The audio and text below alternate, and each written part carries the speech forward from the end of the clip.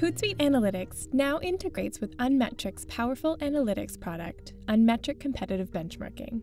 This tool enables organizations to benchmark themselves against their competitors, benchmark their social media success across all major networks, identify industry leaders, and access historical content data. To get started, contact your Hootsuite Customer Success Manager to learn about getting Unmetric Competitive Benchmarking enabled for your account. Once connected, navigate to Hootsuite Analytics and select it under Apps. The first step is to add the social media profiles you want to compare. Say you're a hotel that wants to see how your social media content stacks up against competitors.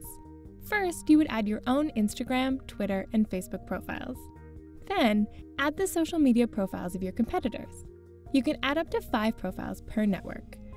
If a specific brand's profile doesn't appear, contact Hootsuite to request the data.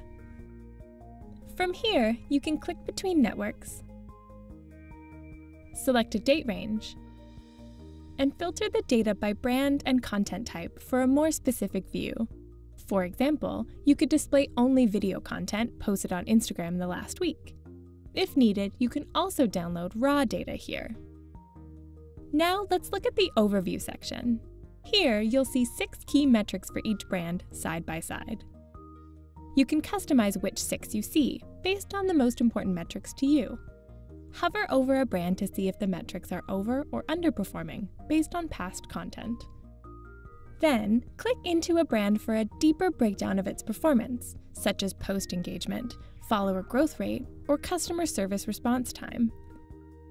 Back on the main page, in the social network feed, you'll see published content. Content specific metrics are listed under each post. The metrics available differ slightly on each social network. All the posts will be displayed in chronological order by default, but you can click the dropdown to sort them by other metrics instead. Finally, click on a post to view it or interact with it directly on the social network.